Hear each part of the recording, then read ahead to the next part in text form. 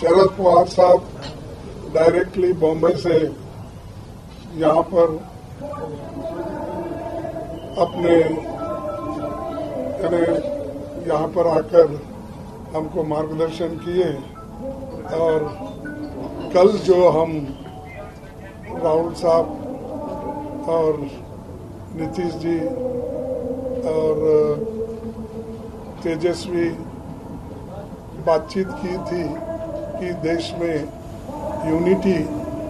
हम रखेंगे अपोजिशन का, और सभी मिलके आज जो घटनाएँ घट रही हैं देश में, उन देश को बचाने के लिए और लोकतंत्र को बचाने के लिए और संविधान को सुरक्षित रखने के लिए और फ्रीडम ऑफ़ स्पीच एक्सप्रेशन नौजवानों के एम्प्लॉयमेंट के लिए और जो इन्फ्लेशन जैसे इश्यूज़ है, ऐसे सारी चीज़ों को लेकर एक जो ऑटोनोमस बॉडी का भी जो मिसयूज हो रहा है, ये सभी चीज़ों को लेकर हम एक होकर लड़ने के लिए तैयार हो गए हैं और एक एक करके हम सबसे बात करेंगे। अब तो कल आप देखे हैं कि दो पार्टियाँ मिले थे, कांग्रेस भी थी। आज पवार साहब भी आए हैं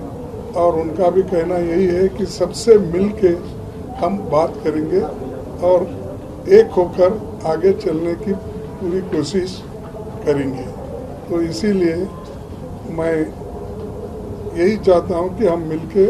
काम करें देश के लिए और देश के हित में। तो इसके लिए हम सबसे मिल रहे हैं और यही विचार पवार साहब का भी है कि सबसे मिलना चाहिए और